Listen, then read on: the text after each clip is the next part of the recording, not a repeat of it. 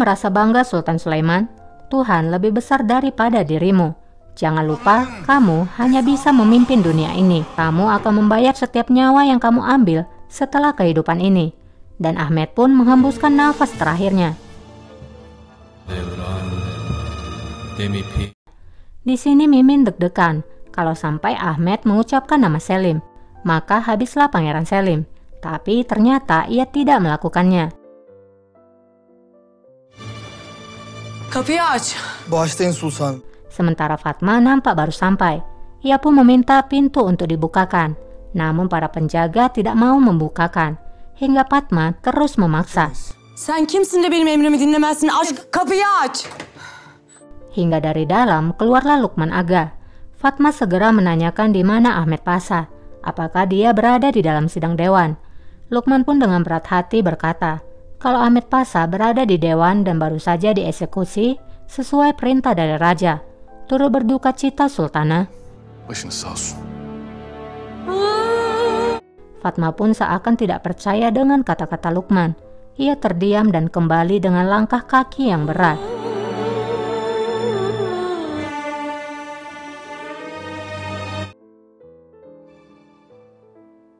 Rüstem Paşa. Di dalam ruangan dewan, Raja memanggil Rustem Pasa. Raja pun menyuruhnya untuk mendekat. Rustem pun datang mendekat. Raja kemudian memberikan stempel itu kepada Rustem dan mengangkatnya kembali menjadi wajar agung. Rustem pun segera mencium kaftan dari raja dan menerima stempel itu. Rüstem Ia pun berkata, "Kamu telah menghormati hambamu Rustem ini. Kuharap aku pantas mendapatkannya." Raja pun menjawab, "Aku juga berharap demikian. Kalau tidak, nasibmu akan sama seperti Ahmed Pasa." Bu defa senin de akıbetin Ahmet Paşa'nınkine benzer. Kini Rustem pun berada di urutan ketiga ketika sebelumnya ia berdiri di paling akhir. Raja kemudian pergi dari ruang sidang.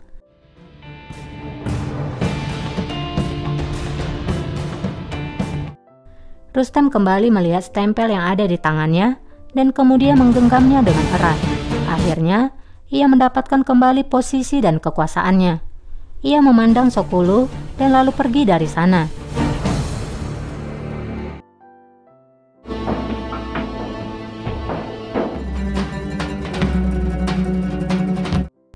Fatma nampak berjalan tanpa kekuatannya, dan hal itu dilihat oleh Hurem, Mirima, dan Sumbul.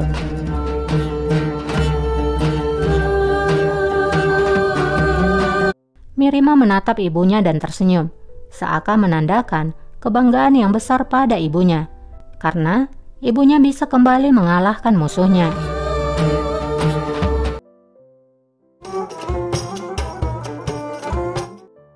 Singkat waktu, perayaan pun diadakan di Harim. Itu adalah perayaan sunatan dari Pangeran Kecil Murad. Dan Nurbanu sangat merasa senang akan perayaan itu.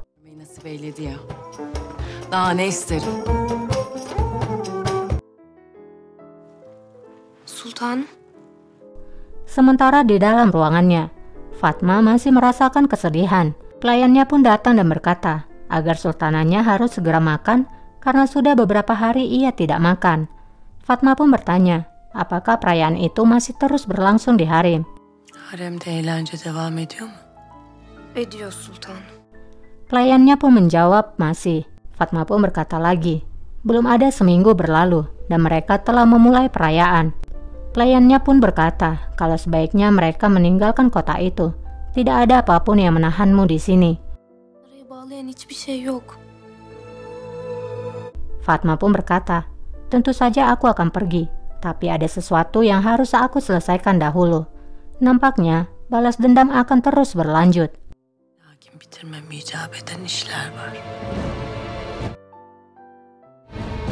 Nurbanu Sultan'ı görmem lazım Cenfede. Di taman istana, Gajanfer dan Chanveda sedang bertemu. Gajanfer memaksa Chanveda untuk memanggil Nurbanu karena ada sesuatu yang ingin ia katakan. Chanveda menolak karena tidak mungkin sultananya bisa meninggalkan perayaan itu. Namun Gajanfer terus memaksa. Akhirnya Chanveda pun menuruti keinginannya.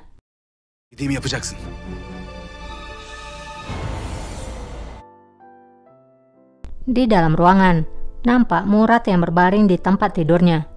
Bayezid lalu datang dan mengatakan pada Murad, semoga ia panjang umur. Ey maşallah. Allah sana uzun ömür versin. Sen de bir hançer. Hatırlıyor Selim kemudian berbicara pada Bayezid. Selim mengatakan, apakah kamu ingat kita pernah membuat hadiah untuk raja? Aku membuat cincin dan kamu pisau belati. Bayezid pun ingat dan mengatakan kalau dirinya tidak dapat menyelesaikan hadiahnya. Nampaknya Bayezid tidak mengetahui mengapa itu terjadi. Selim pun berkata, itu memang benar, karena akulah yang menghancurkannya. Selim jujur kalau ialah yang telah melakukannya. Bayezid pun bertanya, mengapa dia melakukannya? Selim pun menjawab, kalau raja sangat menyukai hadiahmu dan bahkan tidak melihat hadiahku. Aku adalah anak yang pencemburu dan aku menghancurkannya. Bayezid hanya tersenyum tidak marah.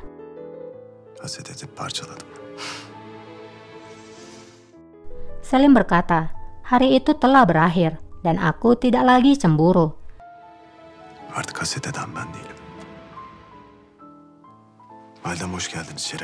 Lalu tidak lama Hurem pun datang ke sana.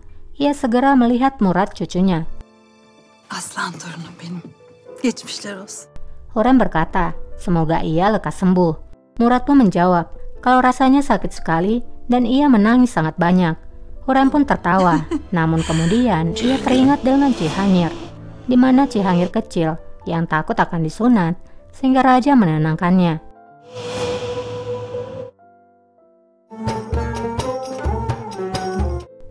Di Harim, Canveda pun sampai dan menyampaikan sesuatu ke telinga Nurbanu, dan hal itu dilihat oleh Horician.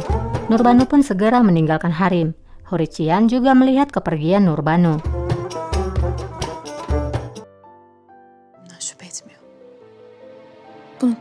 Kembali ke ruangan Murad, Mirima berkata pada ibunya kalau Rustem telah melakukan yang terbaik, karena itu Raja tidak mencurigai Selim.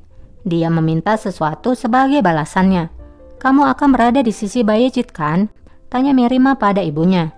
Namun Hurem hanya menatap tajam kepada putrinya. Hurem masih tidak mau memilih salah satu di antara putranya. Sultan Süleyman Han Hazretleri. Raja pun tiba di sana. Raja menanyakan bagaimana perasaan cucunya itu. Murad pun mengatakan kalau rasanya sangat sakit, namun sekarang sudah lebih baik.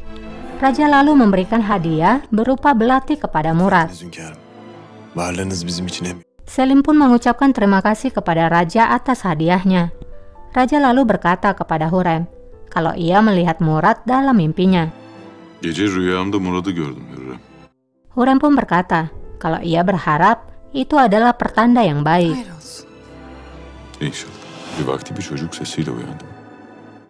Raja pun mulai menceritakan mimpinya. Aku bangun di malam hari karena mendengar suara anak kecil.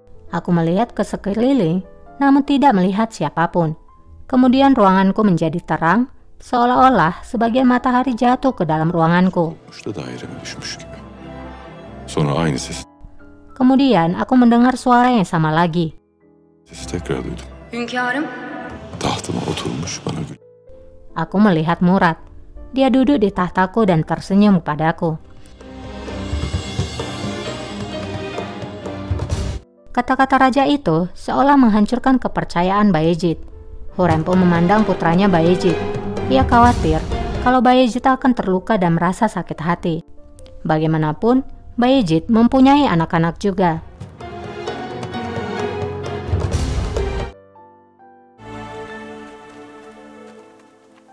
Hayırdır Gazanfer? Sultanım. Di taman istana, Nurbanu akhirnya sampai di sana. Nurbanu segera menanyakan pada Gajanfer yang sudah menunggunya lama. Apa yang ingin ia beritahukan? Gajanfer pun memandang Nurbanu dan mengaguminya, kemudian mengatakan, Aku mengetahui bahwa Hurician telah pergi ke dukun. Dia mungkin sedang merapal mantra untuk bencanamu. Kumohon untuk berhati-hati. Nurbanu pun berkata, jadi karena hal ini kamu memanggilku. Nurbanu pun menjadi kesal dan mengatakan, kalau ini adalah terakhir kali Gajanfer memanggilnya untuk hal-hal yang tidak masuk akal. Nurbanu pun segera meninggalkannya dengan perasaan kesal. Aslında Namun Gajanfer berusaha menahan Nurbanu dan kembali berkata bahwa ada sesuatu hal lainnya. bir husus daha var sultanım. Bu Gajanfer pun memberikan cincin kepada Nurbanu dan meminta Nurbanu menerima hadiah yang tidak berharga itu. Pada saat itu, Hurician pun tiba di sana dan melihat kejadian itu, tapi Nurbanu dan Gajanfer masih belum menyadarinya. Nurbanu lalu mengatakan pada Gajanfer, Canveda benar, kamu telah kehilangan akalmu. Hukuman dengan apa yang kamu lakukan adalah kematian. Sambil membuang cincin itu. Akhirnya, Nurbanu melihat Hurician yang ada di sana dan merasa sangat panik. Artık gazap. Sebaliknya Gajanfer masih juga tidak mengerti, ia masih ingin bersama Nurbanu. Nurbanu pun marah dan menyuruhnya pergi dari hadapannya. Nurbanu terus mengejar Hurician Sultanım bekleyin beni. Bakın düşündüğünüz gibi değil. dan menjelaskan bahwa hal itu tidak seperti yang ia lihat. Sultanım.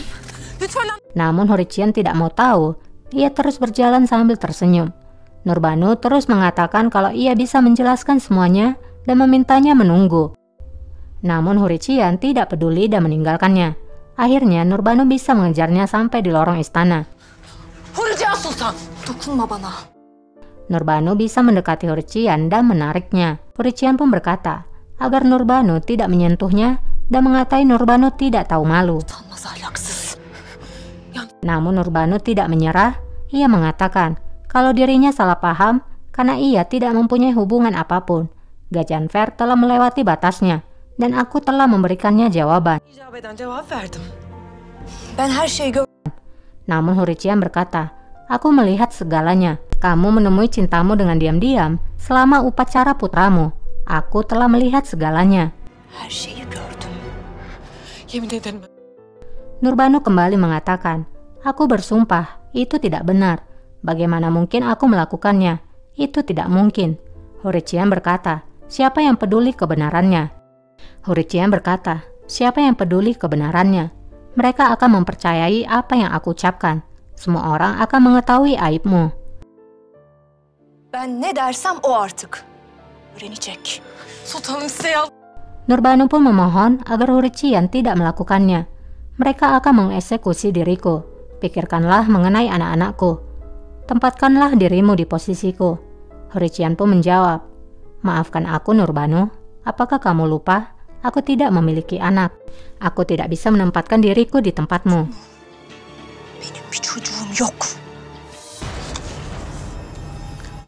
Mendengar ucapan Hurician, Nurbanu pun menjadi lelah bersikap baik. Ia pun menahan bahu Hurician yang ingin pergi. Nurbanu kemudian berkata, Apakah kamu melakukan ini karena cemburu padaku?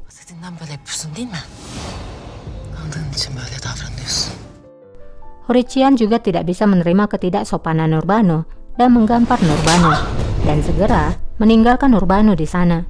Namun Nurbanu tidak ingin melepaskan Hurician pergi begitu saja dan dimulailah pertarungan.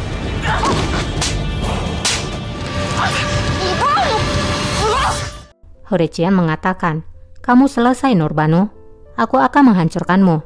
Dan ia pun pergi dari sana.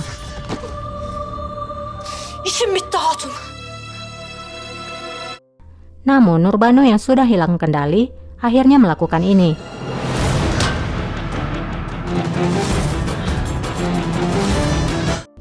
Ya, dia memukul kepala Hurician dengan sebuah besi. Hingga akhirnya Hurician pun terjatuh ke lantai dengan mata yang terbuka. Nurbanu pun tidak menyangka dia bisa melakukan hal kejam seperti itu. Dia pun masih berdiri di sana karena merasa bingung.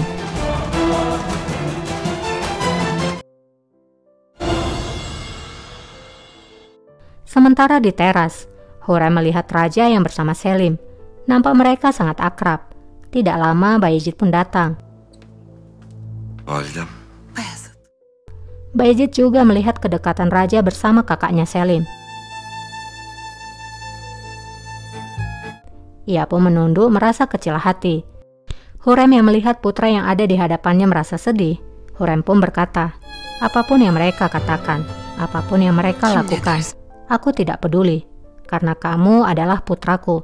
Putraku yang lebih pantas mendapatkan tahta. Böyle. Mulai dari sekarang, aku akan berada di sisimu selama aku hidup. Bayezid pun tersenyum senang mendengar perkataan ibunya.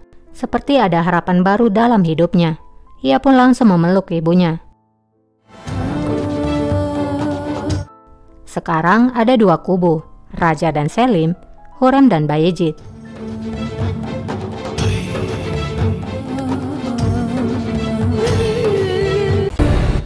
Dan kisah pun bersambung. Buat teman-teman yang suka dengan kelanjutannya, boleh dong di subscribe dulu, supaya setiap kali aku upload video baru, kalian dapat notifikasinya. Buat yang sudah subscribe, like, komen, terima kasih banyak ya. Semoga kalian selalu dalam lindungan Tuhan. Sampai jumpa, bye.